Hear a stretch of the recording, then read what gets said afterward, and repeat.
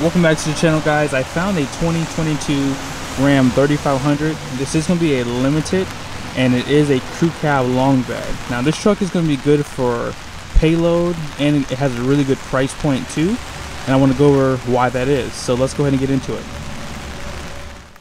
Now if you are on a budget and you would still like to have a higher trim level like this one this base price is 69250 for a gas engine so just keep that in mind now, obviously, you have to add in destination to that price, but all in all, this truck is perfect because it does have the standard Cummins, so you're going to save a few thousand dollars here not getting the high output. And this truck does have a little bit more payload, which you'll see here in the video. But all in all, um, are some of the options. You know, it does have this Snow Chief group, which gives you the uh, auxiliary switches and the transfer case skid plate and the body color bumpers was a nice upgrade to kind of delete some of the chrome. And then limited level one is your second most expensive package. And they have some pretty good technology features in here. That 6.7 Cummins 9400 bucks. The power deployable step I actually forgot to show this in the video but it is on the left hand side Outback 365 and then this one does have this really good investment for your truck. 50 gallon tank 295 if you want to get one off the market it's going to be about a thousand dollars plus not including installation this one does have the air suspension at 1705 destination comes in at 1795 with a total price of $87,745 so as you guys saw on the window sticker you did have a front bumper painted option and rear bumper. And this truck is finished off with a little bit of chrome. I do not mind it as much but if I were to buy a truck like this, I would definitely get the blackout because I think it just looks so much better without the chrome. You do have the front tow hooks finished in chrome as well. And they have like a nicer look to them also. I'm probably going to be a little bit biased, but this does have the best looking grill since I do have a limited too. And you only get these headlights on the limited and the limited longhorn. So if you get a Laramie down, there'll be a reflective style headlight. Now just below, you do have LED fog lights. And they also put a lot of light out, believe it or not. And I like the slim design that they have too. It has like that timeless look. As you can see, the parking sensors are hidden nicely on the front end. And there is a forward-facing camera, which comes a part of that limited level one equipment group. And these headlights do swivel. They're full LED, turn signals the whole nine. And then off to the side, you do have a 20 inch wheel with a Firestone tire. And these are going to be a 285 60 20. And you're going to have a solid front axle too up front. Now, because this has that 360 camera, you're going to have cameras on the, each side of the mirrors. And you do have a chrome finish on this too with a little light. This does have a clearance lamp, which would be an option since this truck is not a dually. And because this is a limited, you have the power deployable steps. Now I'm going to make a little bit of Ram guys upset.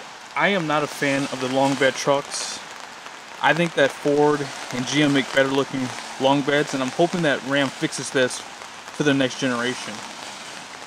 This truck looks really like bland. But I will say the chrome actually does help with this black truck. I think it looks really good with the chrome accents. But again, I think a black truck would just look amazing. So this would have a 32 gallon tank standard, but this one does have that 50 gallon tank option. And as you guys saw, the truck does have the air suspension too. I think the fender flares do help with the styling as well. Now out back you are going to have LED tail lights. It's going to be the reverse lamps, the stop lights, turn signals, the whole nine. So it's a really techy truck if you think about it. Now out back you do have a class 5 receiving hitch and they do have a newer input down here. Hopefully I can show it to you since it's raining today. But as you guys can see this is going to be a 12 pin connector here. And then you have your standard 7 pin. And then this one also has a camera input too for the rear view mirror. Okay? And you do have the backup camera. And then up top there, you're gonna have two cameras on that high mount center light too, which is full LED. Now, as far as the bed goes, I'm very used to seeing, you know, the fifth wheel prep package already in here. It's been a long time since I've seen one without it. But you do have a 115 volt, uh, 400 watt cargo plug. And you do have a dampened tailgate. I would like to see that they allow you to put it back up from the key fob, but that's still not available. I don't know if you guys can see those airbags. It might be kind of hard since it's a little dark out here.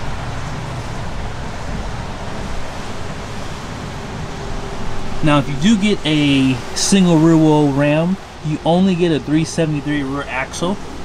So just keep that in mind. If you want a 410, you would have to go to a dually. And I always mention this, but I like how the parking sensors are hidden down below.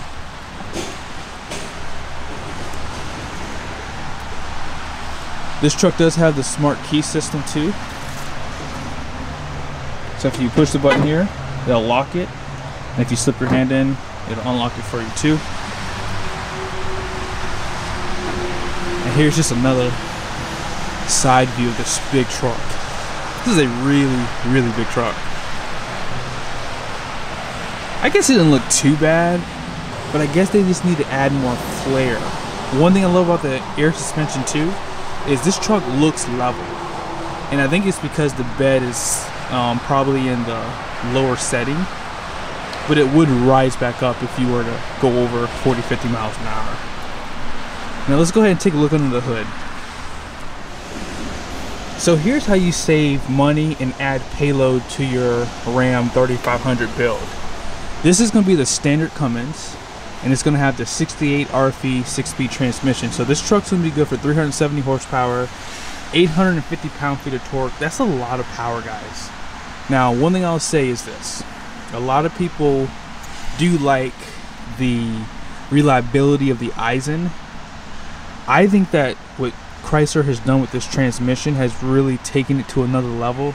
I believe the 66 RFE was the more unreliable transmission. So if you are looking for reliability, this 68 RFE is definitely that. I've met guys who do hot shot and they had four 500,000 miles with no issues on the transmission and the trucks did have tunes on them too. So even with more power, they didn't have any issues overall with this truck. All right, so let's go ahead and look inside the truck. I'll show you guys the number for the truck here in a second, but um, what's new for 2022 if you are looking at a limited with a black interior all of your accents inside the interior. Used to be bronze like your door handles the trim here. The speaker ground used to have like a bronze look to it. Around the steering wheel all that stuff was done in like a bronze color. And now is done in black. And boy does it look a lot better. Like look at the overall bright black or it's like a black chrome design. It looks so good. My interior, I have like the cream and navy blue color and I think that bronze color looks better. But inside this truck, you guys can pretty much tell this looks a lot more cleaner with the black interior. So this black interior looks really good actually. I think that if I were to get another truck, I'll go with black. Just because with the night edition, you have to get black interior. But I think I would still get my interior color if I did not get the night edition. So let's go ahead and start it up.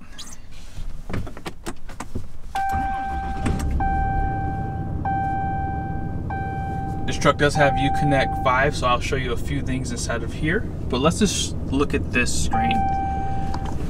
We won't go through everything, but I like to start here just because this is really good for people who do plan on towing. There's a lot of good information in here. Uh, I definitely do check this information periodically when I'm towing. And for the most part, I mean, nothing much has changed inside of here. Exhaust brake. This is my favorite one. This is the gauge summary. So when you're towing, you can just check all your temperatures. Please, Ford, GM, Toyota, everyone this is what you need when people are towing when people are you know going down the road it's just it's a lot easier to have this up versus going through everything checking. So I like that they do this. And you have your engine hours. You also have your tire pressure. And then it goes back. Because actually the tire pressure was the first thing. So um, this is something that's kind of changed this off-road page here. So drivetrain, and then they have the pitch and roll, and then they have your driver assistance, fuel economy. I like this page too.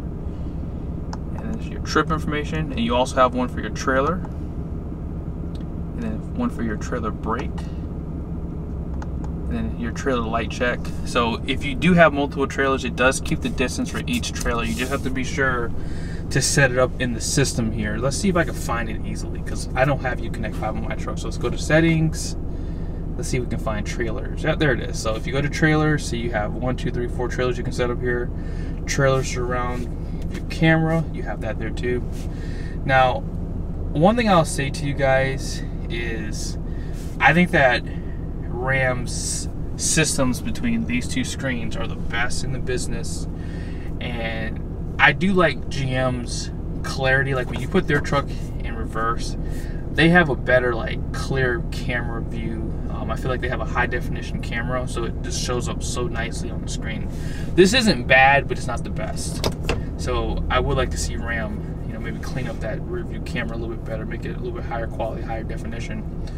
And here's some of your gauges. You can see your gauges here. This is something I don't have on my truck, so this is new for Uconnect 5. You also have the pitch and roll if you are going off road. So there's a lot of cool features. I do like the home screen too with the Uconnect 5. They allow you to set up these widgets here. So if you want to put your, um, let's see, navigation in one, you can put your heated seats in another, right? And then your cooled seats and your heated steering wheel will be there too. And then if you like, you can do your climate. So on my truck, why I like this better is you only can do a split screen for two. So this is a really, really cool system. And they allow you to you know reorder your pages too. I mean it's just really really intuitive. So you can swipe it to the right here. Hold on try it again. So you can swipe it here so you have other pages too. So again i think that if you're looking for you know a good product i think stellantis is really you know leading the way there. So moving on the media here's what you would see. You do have a main page for your comfort and it does show your seat comfort features there too. Navigation. You can do a full map view. I'm still trying to figure out how to you know set up the trailer for like if you want to see your trailer height put in here I'm trying to see how you do that. I don't see that you can do that yet. So hopefully I figure it out. But for now it's just not available. So I've gone everywhere too. I've looked through everything and I just don't see where it's at. So let's just keep moving on.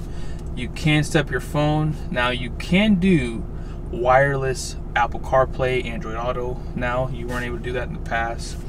And you know, you do have a few cameras that you can set up. I made a comment about Ram putting a button here for the cameras. They did something a little bit better. They actually have a favorite menu here.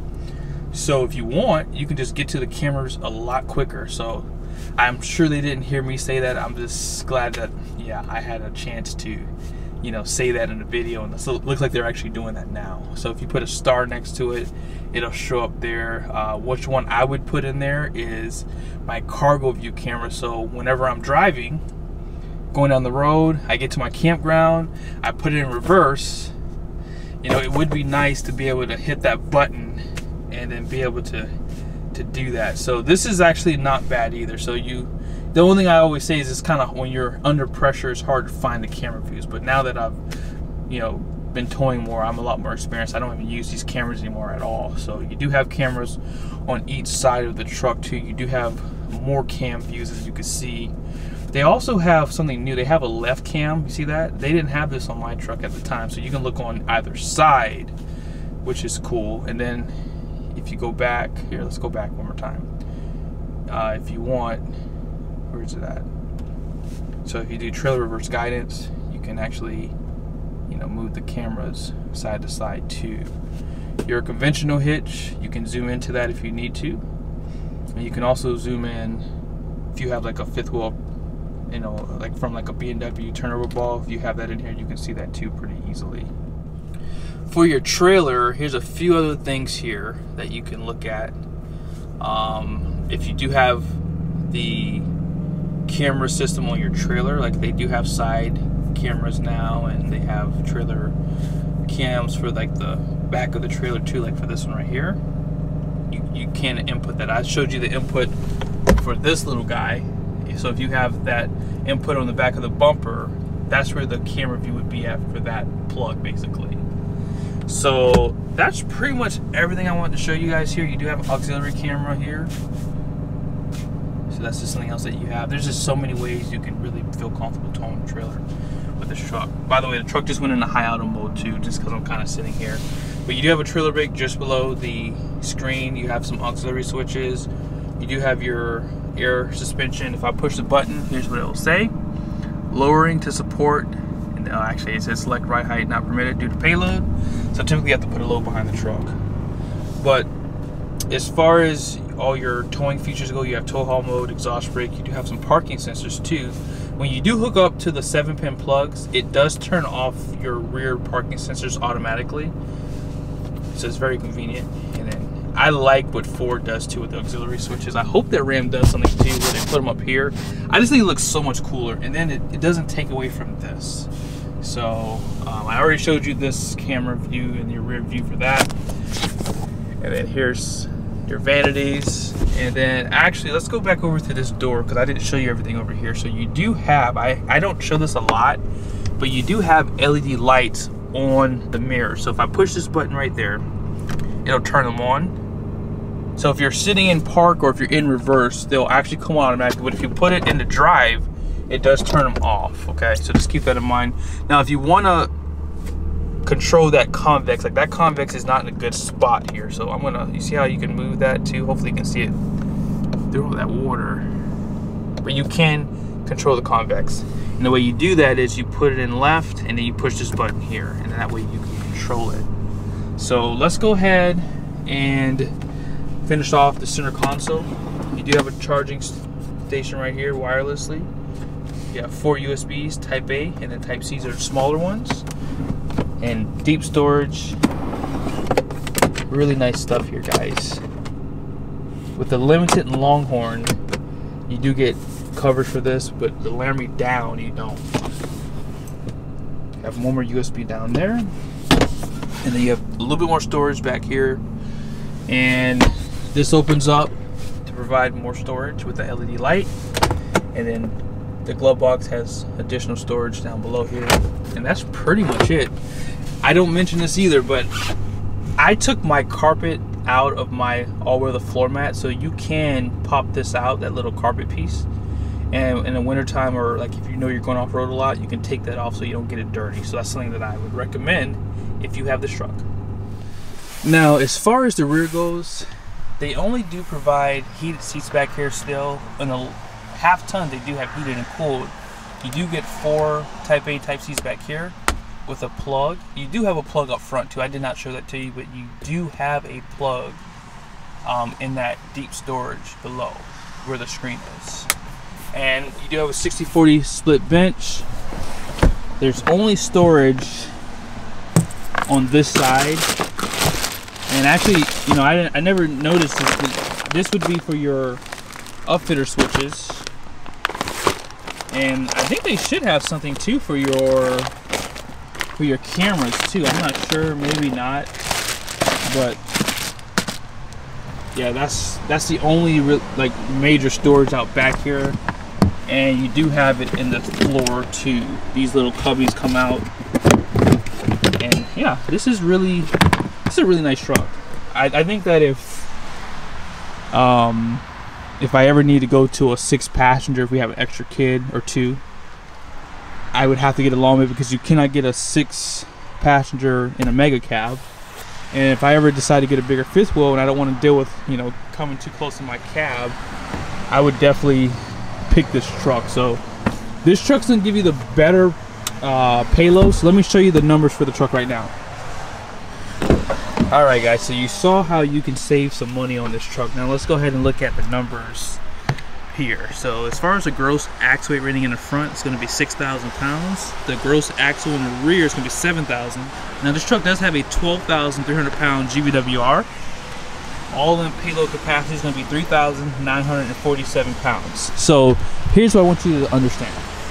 When you get a long bed truck, you are gonna have a higher GVWR versus a short bed crew cab.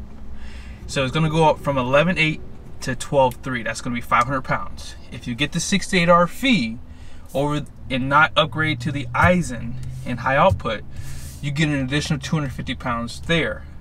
So just keep that in mind. Obviously, if you don't get full drive, you can pick up another couple hundred pounds here. So if you do need that payload, you can buy this truck. You save the money on the 68RFE and um, just having just you know lesser weight gives you the payload that you need too.